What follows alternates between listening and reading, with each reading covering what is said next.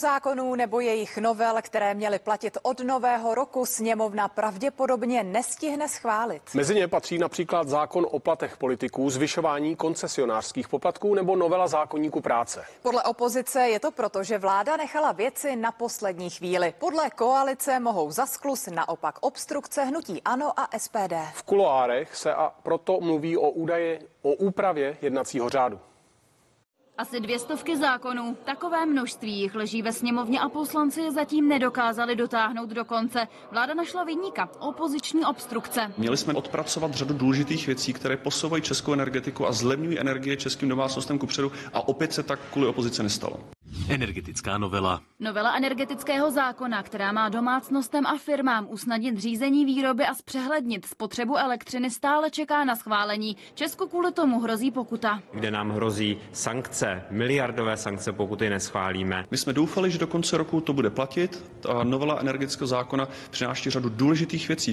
Koncesionářské poplatky. Další novela jejíž schválení se posouvá pravděpodobně až na příští rok, se týká zvýšení koncesionářských poplatků. Jednota prý není ani v koalici. Je tam ta nejednota, kterou oni vám neřeknou na kameru, ale na těch chodbách to tak jakoby vnímáte, cítíte. To asi budu muset nechat na první měsíce příští rok.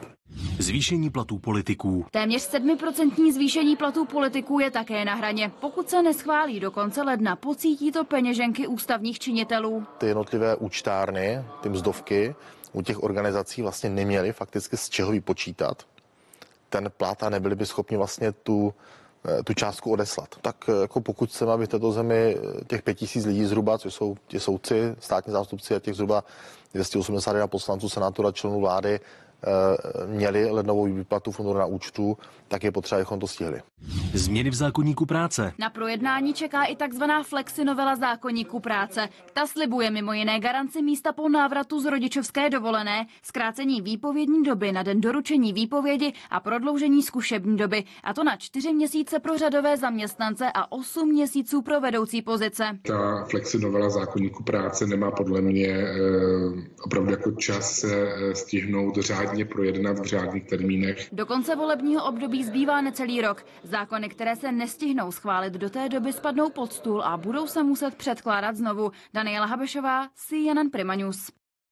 Jedním z důvodů, proč se koalice